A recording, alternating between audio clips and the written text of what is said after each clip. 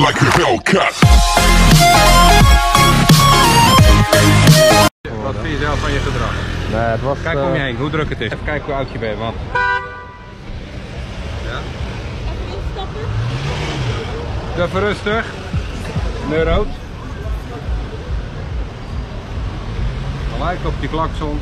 Kijk, dit is een beetje het gedrag wat we hier zien. Hè. Ik zou je zeggen, ik heb echt letterlijk dezelfde motorfiets gehad. Ja? Ik weet hoe makkelijk het gaat. Ja, dus precies. Maar ik weet ook hoe makkelijk het niet gaat. Dat is gewoon je eigen beheersing. Ja.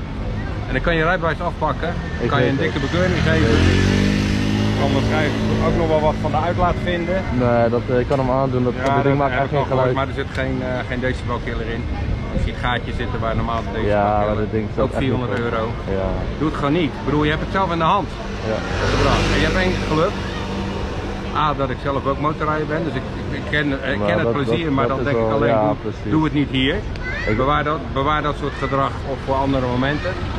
En dat ik hem altijd in mijn eh, koffertje heb zitten en dat ik gewoon heel erg honger heb. Dat het inmiddels eh, 8 uur is. Dus doe het niet. Oké, nou dankjewel. Ik Doe ga het zeker niet doen. af. Yes? Ja?